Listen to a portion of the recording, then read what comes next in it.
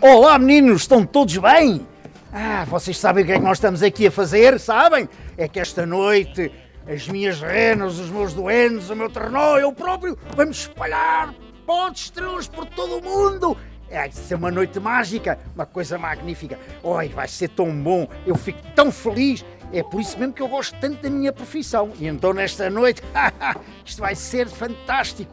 Vamos ver. Eu gosto tanto de ver a alegria dos meninos, os sorrisos das crianças e dos adultos também.